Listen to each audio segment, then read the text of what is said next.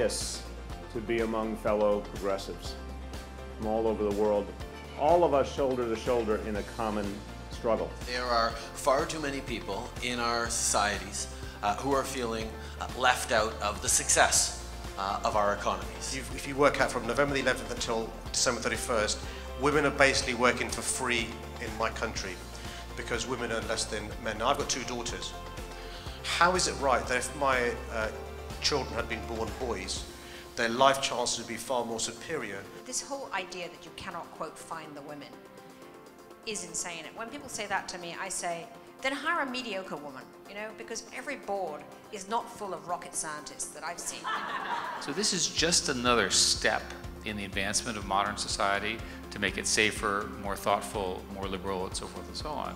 But we don't yet have a plan as to how to do that in a uniform way, in a way that works globally, that causes us to be able to be successful. How tackling this issue of making the transition to low carbon is a source of prosperity, a source of jobs. It's happening in Quebec, it's happening elsewhere, and it will profoundly transform our lives. And our ability as progressives to bluntly analyze reality, to call for bold changes, to say we will not accept a status quo that simply won't serve the majority of our people, that's what will move us forward.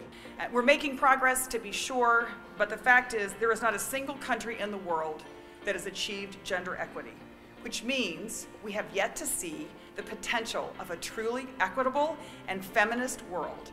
And wouldn't it be great if the US and Canada did just that and made it their priority? So what we did at uh, Greylock is we decided that as a partnership uh, that we would not rest until we hired a female partner, and we basically listed every single person we considered as possible, and we all went out and started interviewing and recruiting and everything else. And so that was the, you know, in our 52nd year as a firm, we hired the first woman partner. But you just have to make it an organizational priority.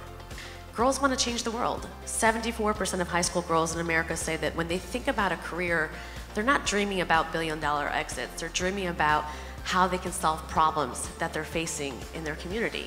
These are the things that we have to focus on if we're going to continue to demonstrate that different perspectives, that multiculturalism, that pluralism, that diversity are a tremendous advantage for any economy, society, country, community, uh, or even company. What unites us as a global community is what will sustain us. E pluribus unum is not simply something that we talk about in the United States, it's something we talk about around the world. Let's practice it. The arc of the moral universe is long, but it does indeed bend toward justice. But it doesn't bend on its own. Let's bend it together.